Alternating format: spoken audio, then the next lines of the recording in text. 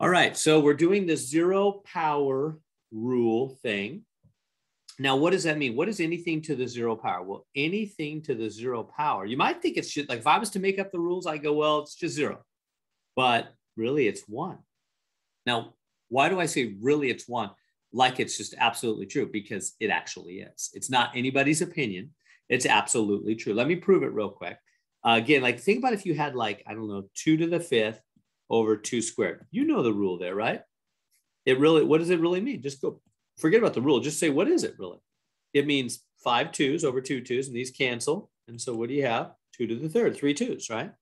So in other words, the rule is you can just subtract five minus two and you got it, right? So then what would be like two cubed over two cubed?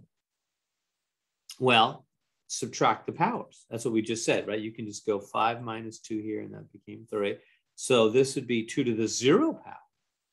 So two to the third over two to the third is two to the zero. Now, what is two to the third over two? Well, it's really eight over eight, isn't it? Two, you know, two times two times two. Two times two times two is really two times two is four times two is eight, and two times two is four times two is eight. It's really eight. What is eight divided by eight? How many times eight go into eight? One time. So that proved. What did I just prove? What is all that I'm doing? I'm proving to you that this rule is really true. That two to the zero power is really just one. Wait, how did I prove that again? because I said, well, what if you have two to the third over two to the third? Um, you can do the root, you can work this problem out two different ways. You can subtract the powers, so it's really two to the zero, or you can just work out the number. It's eight over eight, and eight divided by eight is one, which proves they're the same. It's just two different ways, two true rules. So they have to be equal. So what I did is I just proved to you with numbers that anything to the zero power is really one.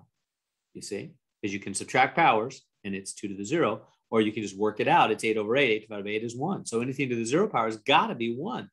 Anyway, that's all the proof. So then let's do so. So you got the rule right. Anything to the zero power is really one. Now let's do it. What is 11 to the zero power?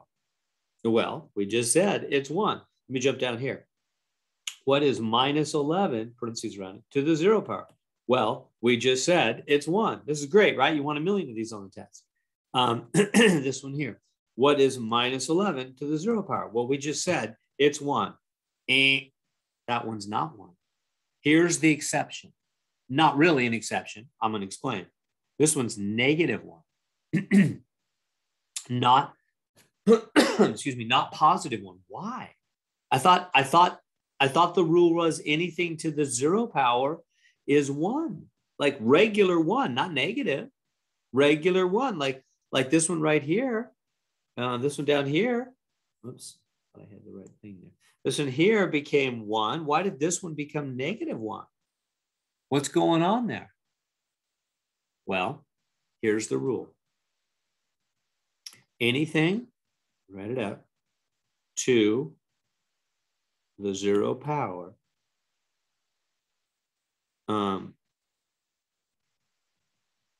becomes one. Anything to the zero power is one. That's true. But this zero power is only on the 11. You see, he's not on the negative. Whereas in this case, the zero power is on the whole thing. So what you've got to be clear on, let me, let me say it a little more clearly. The zero power turns anything he has power over into one, but he can't affect other things over which he has no power. So you've got to be clear who the zero power has power over. Yes, he'll turn anything into one over whom he has power, but he can't overextend his influence over to things he doesn't have power, right? So my point is when you have parentheses, the zero power has power over the entire whatever's in the parentheses negative signs, numbers, letters, other powers, whatever. The zero power, right? That's what the parentheses mean, meaning they're all under the power of that zero power. So the whole thing just becomes one. Whereas right here, when you don't have parentheses, the zero power only has power over the 11. He doesn't get to touch the negative sign. The negative sign is just sitting there. So let me write it out for you clearly. When there's parentheses to the zero power. The zero power has power over all items inside the parentheses, right? Um, but when there's no parentheses, the zero power or any power only affects the number it is it is on not even the negative sign in the front or anything else. Or anything else running out of room here. So that's that's the deal. You just have to be really clear who the zero power has power over. Does that make sense? This what, what i call this this negative sign that's sitting right here he's just a spectator. He's just watching. Like um, i go to a lot of my kids games now. And when i go to the games i'm just a spectator. When the coach tells the team to do different things. I, I don't do it. I'm not on the team. I'm not under the coach's power. I'm just a spectator sitting in the stands watching the game happen. That's what this minus sign is. He's just a spectator. He's not under the power of the zero. So when there's so when there's no parentheses, the zero power only affects um, only affects the number it is on not even the negative sign in the front or anything else, right? They're just spectators watching it happen. So the um,